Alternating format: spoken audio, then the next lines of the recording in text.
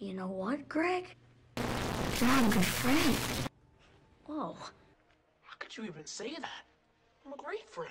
If you were a great friend, you would have told Mr. Winsky the truth. Okay, one thing. You can't get mad you about only just... care about yourself.